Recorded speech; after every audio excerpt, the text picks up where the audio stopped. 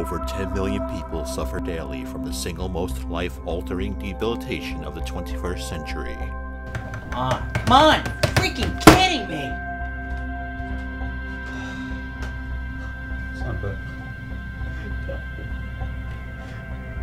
What to do?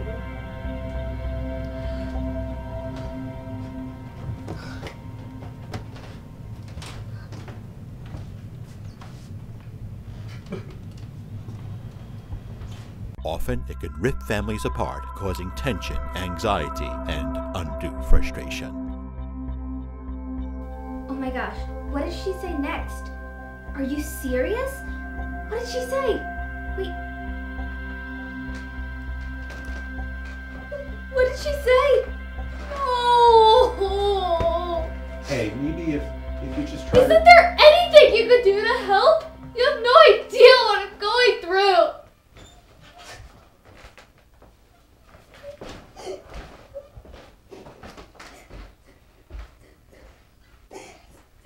That's right, we are talking about inadequate Wi Fi. My turn. How Now more than ever, because of this plague, families are forced to actually spend time with one another.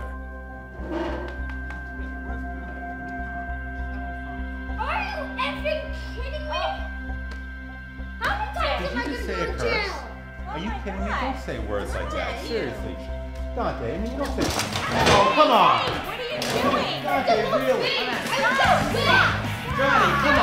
Come back here! Come back! Joanna, come on! We're...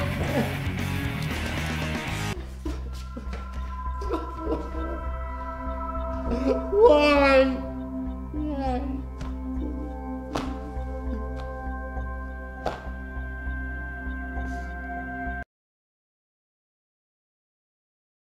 All right, guys. I know it's been pretty tough lately without a solid Wi-Fi connection. But now with Wi-Fi Survive, we've got options. So the next time our Wi-Fi goes down, what do we do? Johnny. Well, we can hack the neighbor's password and connect to their Wi-Fi. Don't worry, because we will route all traffic through a VPN to disguise our IP. Nerd. That's why we keep him around. Anyone else? Dante. We hang out, ride our bikes, and play outside. Good one. Any ideas, Joy? Good old fashioned AOL dial up, which is why we keep our computers with the modem from 1995. You've got mail! And if all else fails, Rendezvous at Starbucks. and don't forget to bring those devices. Thank, Thank you, Wi-Fi Wi-Fi Survive. Bring it in here. Come on.